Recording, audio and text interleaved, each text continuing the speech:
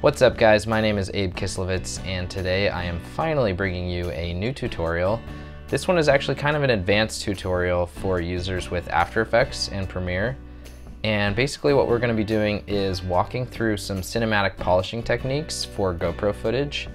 Mainly we're going to be doing this by using optics compensation to flatten the look of the footage and get rid of the fisheye on the GoPro. You can do this in the camera with the new linear mode, but we're gonna be using optics compensation to actually gain a lot more pixels on the left and right of the image to allow for a lot of really unique and interesting cinematic moves to do in post. And on top of that, there's a couple tricks that I use when I have to rotate an image or scale it in a certain way, where I can get a little more pixels on the left and right in the corners sometimes when you're missing a little bit of that image. So I'm gonna show you a couple of these techniques. These are all actually techniques that we use in-house to try to always maximize the amount of resolution that we're getting in the video footage. So for this tutorial, I'm gonna be walking through a project that I did earlier this year. It was just a karma video that I did in a weekend in San Diego. And the great thing about karma footage is it lends itself really well to the techniques and polishing uh, things that I'm gonna be talking about. All of this project was pretty much shot in 4K, I did a bunch of different kinds of moves with Karma, but nothing too complex. So to start out, I'm just gonna show you a couple clips before and after the polishing techniques. So here's the intro. And you can see the horizon is doing quite a bit of bubbling here. That's the uh, fisheye distortion in the lens. I like to try to fix this with optics compensation. So I'm just gonna show these three first clips after I did my fixes.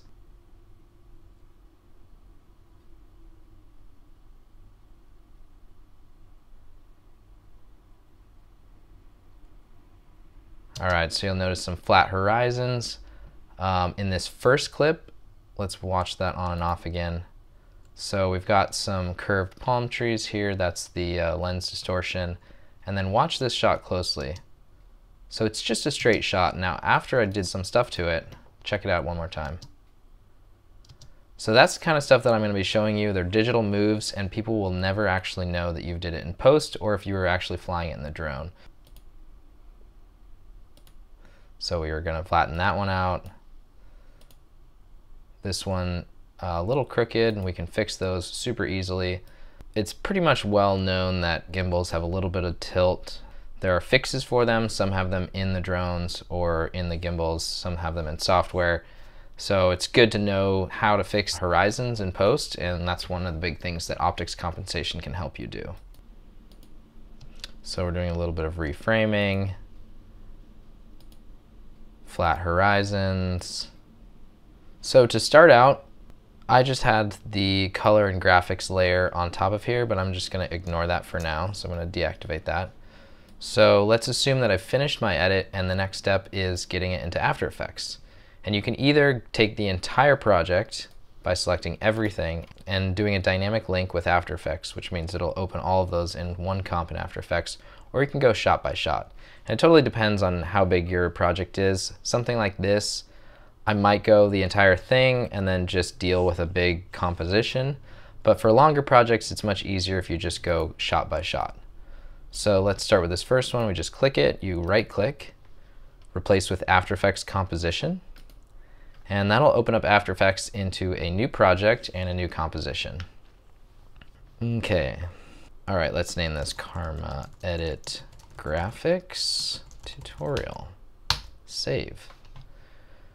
So this first clip is brought in into a new composition. So it's California Karma 1 linked comp. The file is in here and the file is the exact length of my clip in Premiere. And now a really big step that I like to do is I go back into Premiere right away and I undo what I just did. So I'd hit Command Z. And what that does is it keeps it in After Effects, but I don't have that linked composition in my timeline. If you have a bunch of linked compositions, it'll get pretty slow because it's having to link through to After Effects. So I prefer to get it over into After Effects so I can at least work with it and I have all the same size and dimensions. And then I keep my Premiere timeline clean with all the originals. And then from After Effects, what I like to do is actually render out to ProRes when I'm all done, and I can get those rendered files back into the timeline. So let's go back into After Effects, And the first thing that we're going to do for optics compensation is we're going to drag the optics compensation effect directly onto the clip. So either into the timeline or on here. And I used to actually do optics compensation on an adjustment layer, but after talking to a couple people at GoPro, we realized that it's better to have optics compensation on the clip itself because if it's rotated or anything like that, the distortion profile on the lens is always the same regardless if it's rotated or not, if that makes any sense. So we have optics compensation on the clip itself. And field of view for GoPro clips, I usually have a standard for wide of 70. So I just go ahead and hit 70. And you want to hit reverse lens distortion. So that pulls it out. When we scale it down, we have black edges on all sides, so it retains that 16 by 9 profile, but the fisheye has been removed. So under resize, we have off, max 2x, max 4x, and unlimited. I do unlimited just to be safe, and let's check out what happens. So now you can see the content in the middle of the frame is still there, but it shows all the pixels that it had to pull out and stretch to make that flat profile. So now we're at scale of 70. We can scale up to, let's see, 92.7. So this is a 4K file inside of a 4K frame size, but we're at 92.7% and we are filling up the frame. Now watch what happens if we go to 100% and we turn off resize. And now we want to go rotate and rotate our horizon. So the first thing we want to do is go to view, either show grid or show rulers. I like rulers. And then you can just click from any ruler and drag down some guidelines. So I'm going to try to get the horizon flat here. So I've got this guideline and I'm going to hit rotation and you can do really minor rotation changes by holding command. And let's get this looking proper. And if we need to, we can pull some vertical guidelines out. So maybe this house here to help guide us. Okay. So typically when you do a rotation of a clip, you'll see that you get all this black space. And then what you have to do is scale it up. And it's not super terrible because we are filming in 4K and you've got a lot of resolution to work with, but I like to retain as much resolution as possible. So back when we go to resize, when we go to resize unlimited, suddenly all of this is already filled in. And we can even play with the scale. And so again, hold command and you just want to scale down until you see the background. So right there I can see it. And if it's hard to see, sometimes I like to go up to composition composition settings, and change my background color to something like bright red. Okay, so now let's go back to scale. You can see I've got red in the background, and we'll just scale up until we can't see it anymore. So that is perfect. And you can see now we have a flat horizon and we have some straight lines. So beyond that, what I like to do now that we have all of this extra resolution is now we can start getting creative in post with opportunities to do some cool moves. So what I did in my original is, since this was just a straight moving drone shot, which is cool, but we can actually add a little bit more movement and fluidity to it.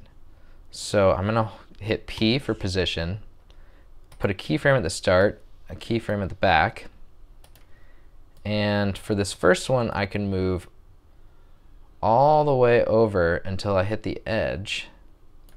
And then I want to move it down so I don't see any of that red. And then I will go to the end of the clip and move it all the way to the other side until I see the red. And I will get rid of that red. And now, while I've got this forward moving clip, it's also going to be tracking from left to right. And it'll kind of give this orbiting feel around some of these palm trees. So let's check this out. And obviously I showed you the very maximum from left to right, but you could do really minor moves, stuff that people really wouldn't notice. So let's go to just a little bit from the left And we'll go a little bit to the right, not too much. And just a nice little minor move, and we'll see what that does for us. So we just get a little bit of that orbiting effect. We'll turn off position just to see what it looked like before. You can see perfectly straight, and we'll undo that. A little bit of that orbiting effect, which is super cool. So that is just like one little polishing technique that we can do with our clips. And that's something that I always look at for the possibility of doing something creative and something different that would differentiate your shots from other people's shots. So we're going to go back into Premiere and I'm just going to show you, I'm going to skip over the first couple clips because they're pretty basic and we'll show you this long one. So let's replace this with After Effects Composition. And the cool thing is once you have that project open in After Effects, it'll open a new composition with your new clip. So they'll just keep stacking up in here. And if we look at the project, we've got both of our comps here. So we've got this new one. And the first thing that I'm going to do is add my optics compensation. So I can go actually back to the first one and click on the clip and the effect controls, optics compensation, Command C for copy, and Command V for paste. So the very first thing I want to do is get my horizon straight at the very front of it. So let's pull down a horizon line. And it looks like I had already rotated a little bit in Premiere. So let's do a little more just to get ourselves straightened out. That looks pretty good. Okay. And now I'm going to scrub through, just make sure we are keeping it straight. And so now you can see when it hits the very edge of the horizon, 70 might not have been enough. So we can either pull up our FOV, uh, which is always a possibility, but sometimes it gets a little too warpy when you go above 70 down below. And then also it looks like the horizon is a little tilted as we came up, but it was flat before. So what I want to do is keyframe the rotation at the start, and then wherever it stops the uh, crookedness. So maybe up here, and I'll add another keyframe, and we can grab another guideline, drag this down right in the middle, and we'll do our rotation. Okay, that looks pretty good. So now we should be keyframing between these two points. And we should be good to go. And at any point, if you want to get rid of these guidelines, uh, just to view it without that stuff, hit Command semicolon. That'll bring them up and down. The other thing we forgot to do was scale it down since we do have this extra room with the optics compensation. So I can hold command, scale it down until I see the background, which is right there. So you can see we went from 104 scale because I had already done a little bit of rotation on the horizon in Premiere all the way down to 91.7%. So we are gaining that much resolution back. We're not having to scale. We have a flat image. And that is one of the big benefits of filming in 4K in the Hero 5 and the Hero 4, and then doing your optics compensation in post rather than using linear mode on 2.7K, for example. So I would say whenever possible, if you know that you're gonna be doing post on something, film in 4K if you don't need that extra frame rate, and then you have all of this extra resolution to work in post. And especially if you're working in a 1080 timeline, you have a ton of extra room to resize, reframe, do some cool zollies, pans, digital effects with optics compensation and your 4K clip. So 4K alone, you already have that ability to reframe and resize, but with the combination of optics compensation, you have that much more extra real estate on the left and the right to do really cool visual effects. And I like to do the same thing with time lapses because you have that full 12 megapixel 4.3 and so you can add optics compensation on top of that and do some really cool digital moves on time lapses that otherwise were static. Okay, so we are to save this and go back to our Premiere project. And I'm just going to skip through a couple of these. So this clip, for example, it is a cool clip of Justin. He's skating by. It's pretty obvious that I was trying to film the drone right down the middle of the road, but you can see it's a little off. So if I uh, pull up my guides, um, safe margins. So this is the middle here, and the middle of that bridge is over there.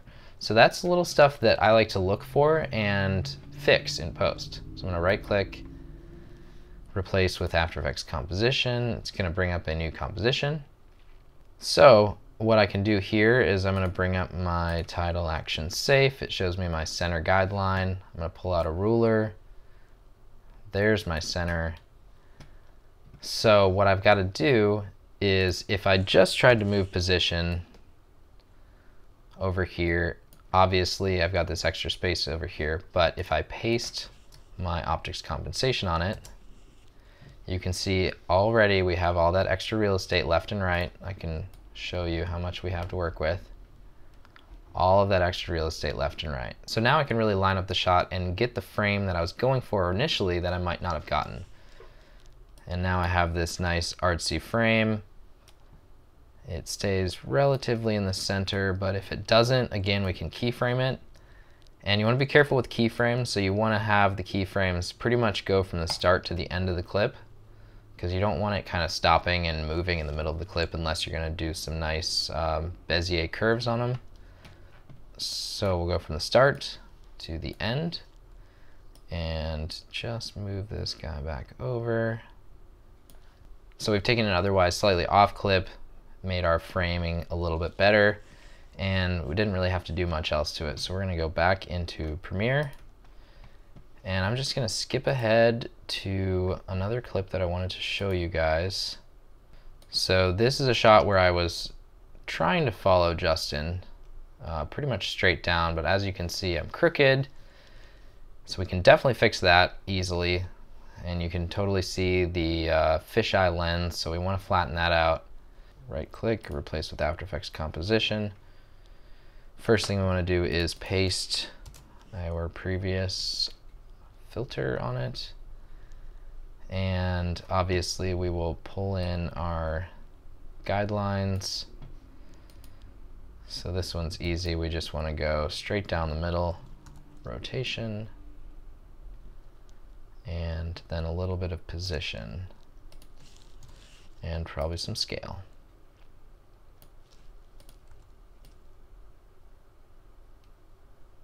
Sweet.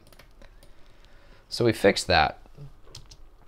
Now, one of the cool things that you could do with a clip like this, and especially like I was mentioning, if you're in Instagram where you have a smaller frame size, it's all dependent upon how much resolution you're willing to lose. And what we can do, and these are some cool motion effects I've done in Instagram videos before, where people have no idea if you're just a really good drone pilot or they're in post. Honestly, people probably wouldn't ever assume they're in post, but and that's why it's pretty cool. So I'll go to the start of the clip and hit rotation and we'll start here. And let's say by the end of the clip, we are gonna be a full um, 180 degrees. So we're gonna go upside down. I think we're about there for 180. And now over the course of the whole clip, it's going to be an overhead shot, but it's also going to be spinning. So we're tracking with him and we're spinning, which is a really hard move to do with a drone, just getting it right the first time. So something like this in post is really cool. Now, even with our optics compensation, you can see since we are in a 4K timeline, um, we still have this black space. So what we can do here is just scale up. Obviously for YouTube, we're trying to retain as much resolution as possible, but something like a 4K clip scaled up will look similar to a 720 clip. Um, we can scale all the way up, which we are at 174%, which is a lot. Um, but if it's going on the web or on social, people probably wouldn't notice. So So you can see how if you're using a different frame size, something smaller like Instagram, let's go up to composition, composition settings, just to show you, I usually do Instagram at 900 by 1200. That's a three to four ratio. And now if we scale it down until we see the black edges, Okay, we can go all the way down to something like 65%. And so now we have this awesome 4K drone shot scaled down to 65% so we retain a ton of quality. And this awesome shot that is flying vertically and rotating over time. And I actually did this in the Instagram version of the edit. I didn't want to do it on the web because I lost a little too much resolution, but for Instagram, it's super cool effect. Let's go back into Premiere. And I actually forgot to unlink the very important step, a couple of these. So I'm going to hit undo, undo, undo. And now I have my original clips back in the timeline and I will be going through After Effects one by one and rendering these out once I finish it. So I'm just going to make sure that project is saved. And the last clip that I wanted to show you guys was this one, I believe. So the actual clip is the drone drifting from right to left a little bit. You can see I start in the middle here, pretty much lined up in the middle, and then I'm tracking to the left because I'm going to try to shoot through this gap. And what this actually allows me to do is a cool kind of orbiting effect because the parallax of the clip is changing. So you can see in the beginning, I can only see the front of this, and then in the end, I can see the side. So what I'm going to try to do in After Effects is keep this in the center the whole time, and that will create a cool kind of orbiting parallax effect. So let's try it. Replace with After Effects composition. We've got our composition here. We're going to paste optics comp, and I'm going to grab my guidelines, center. So at the beginning, position, we're actually going to scale down because that's what we do first. So position, holding command, getting a super fine adjustment, adding a keyframe, and then towards the end you can see how far off this goes. Let's keep this in the middle. This little yellow Yellow, this little yellow guy. Okay, now check this clip out.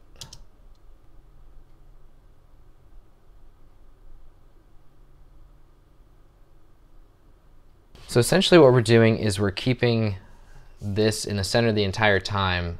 So even though we are changing perspective, it's almost as if we're orbiting around it and keeping our center of focus in the middle.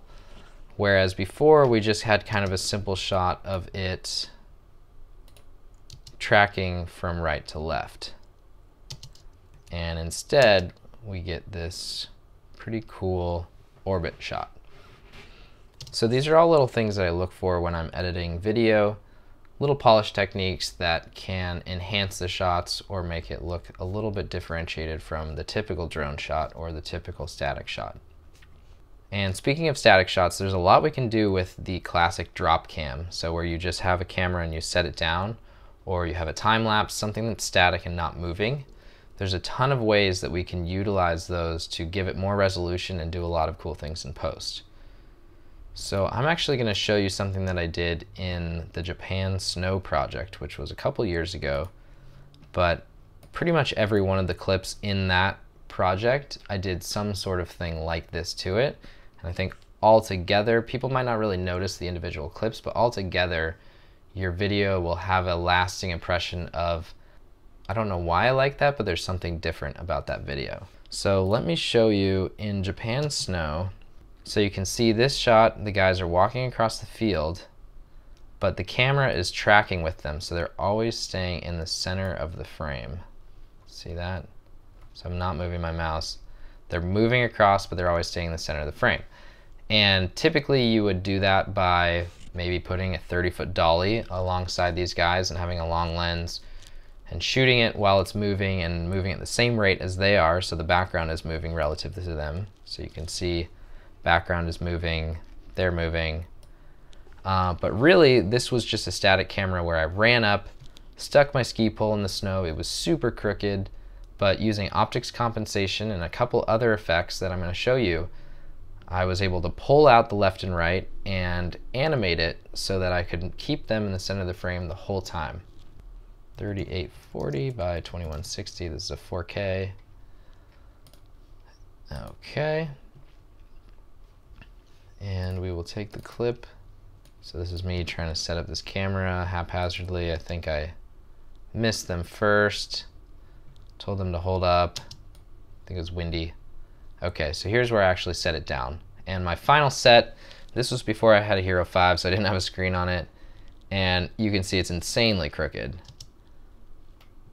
So that's where optics compensation is going to really come in handy where we're going to correct that horizon line. So I am going to grab just from, let's say here, start, to there, finish. And we're going to grab that and put it into our composition. Okay. So the first thing I'm going to do is paste optics comp on here. Cool, we've stretched it out. Let's drag our horizon line down. really crooked. We're gonna rotate. Okay. Great. I want to keep these guys in the center the whole time. So if you watch it without anything, any animation, they're moving across. But the clip that I had, they stay in the center. So if I go position, now see how much room I have on the left and the right. You can see I can pull it all the way until there.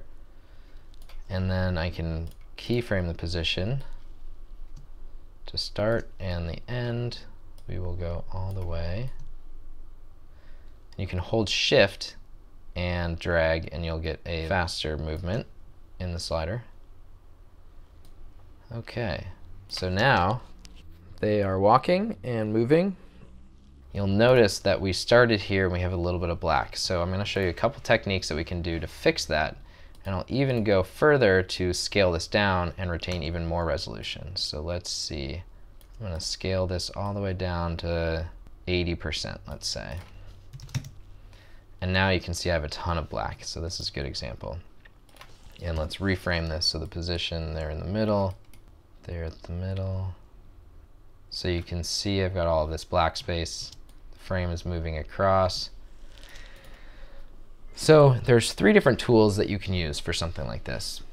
The first one is for really, really simple things and little minor fixes. I use this when I have a little corner that's out, um, but it's the liquify tool, which is very much like the liquify tool in Photoshop. So what I want to do is drag it actually underneath optics compensation and for the sake of this I'm going to turn off optics compensation and you can see how much I just lost with the optics compensation. So I gain all of that extra resolution and you can see I need to pull out a little on the bottom, a little bit at the top, but this frame there's not a lot going on and it's static remember so anything that I do the movements are just relative to the position that I've moved. So I can pull this out all day long and nobody would ever really notice. And that's the great thing with static shots is you have a ton of room to play with them. The first thing we're gonna do is make our brush size bigger. Really big. That's, that's fine. Okay. I'm gonna turn off optics compensation and so we wanna pull it out and you just, just like Photoshop, you can click and drag things up. It's very slow. But you see what that did. So we're clicking and dragging. And you can see how this would really help just for a little corner here, a little corner there. When we're trying to do big things like this, it's really slow, but I'll show you with optics compensation on. So that is the liquify tool. There are better options out there. Next, I want to show you the mesh warp tool. So mesh warp we're going to drag this underneath again. And basically what it's going to do, I'm going to turn off optics compensation. It's going to turn your clip into a grid, and all of these points are draggable. As you can see, it's much faster than Liquify. And something like this is you can actually reduce the rows and columns, the, the size of the grid. So if I just need to retain them in the middle here, I can reduce this down to probably 5 and 3. Maybe, actually I need a little more because I kind of want to drag out from behind them. So they start and move across the frame. So maybe 5 and 5. Yeah, that's perfect. So let's turn on optics compensation just to see where we need more room. So we don't need it in this corner, but we do need to pull out the bottom. We need to pull out the left top and the right top. So I can actually leave that on and select both of these at the same time by holding shift, the third one and the fourth one maybe, and just pull that up. Already done. Grab this one, this one, this one, and that one. And what it's doing is it's only affecting the pixels within this area. It's retaining everything up above. So these guys are left safe. Down below, those guys are left safe. So I'm gonna pull this down, easy.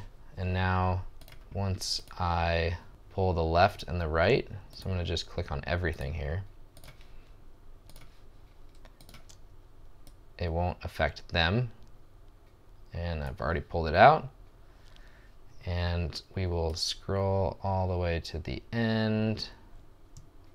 You can see we get a little bit on the end here, so we're going to grab this far edge and pull this out as well. Done. Easy. All right, so now you can see if we go to scale, 80% scale at the beginning, and I can turn off optics compensation, turn off mesh warp, and that is how small the frame size is without all of these effects, which is super cool to know that we've gained all of these extra pixels. So the last effect that I'm going to show you in this same scenario is called motion tile. And what motion tile does is I'm going to turn off optics compensation for now and drag this above it. Motion tile basically will mirror the edges and stretch out your clip. And so you just tell it how far your output width and height is going to be. So you can see it's just dragging it out and the height is going to drag it out. And we want it to mirror the edges. And so you can see it's doing some mirroring of the edges. But we're going to turn on optics compensation which should account for any of the areas that we are interested in. And so remember, especially because this shot is static, so if we turn off the positioning, so there's nothing changing about this clip except for the snow a little bit, but it's totally static. So any of these mirroring effects, the motion tile, uh, is totally fine because it's not really going to be seen. Now once you have motion in the clip, that's when you start to get interesting artifacts with motion tile and stuff like that. But you can typically get away with it with slow moving drone shots or anything where it's not really rotating and changing a whole lot of the scene. So there you have it. That is how we took a very simple, very crooked drop cam and turned it into kind of an artistic shot that was used in the final piece of Japan Snow. And remember, you can use these techniques for time lapses and for anything static, any basic drop cam. So let's go back to Premiere and our last step, once we're all finished with all of our changes, let's say we got everything covered in here, we will render these out. So we're gonna go up to composition, add to render queue, and I'm gonna just do a ProRes save these out into a folder and then one by one drag them over each clip into Premiere or I could even line up all of these compositions in After Effects into one giant composition. Single composition, okay. And then we would drag these out and render them all out at the same time. And those are two ways we can get it back into Premiere. And so now let's just watch through with some of the changes on. And for this video specifically, I use these cinematic bars on the top and bottom. That actually allows you to reframe vertically a lot more as well as horizontally with optics compensation. So you can really get the frame that you wanted. And then we reveal the full thing right here. So we've got this clip, and for coloring, I actually just did a couple little curves inside of After Effects itself. So that is before, that is after. Uh, this is be this is after, this is before. We are flattening out the clip. This is after, this is before. We fix the horizon, we do a little bit of rotation. Fix the horizon. And this last one we have a horizon fix and we also reframed it because I had a lot of sky and we have the black bars.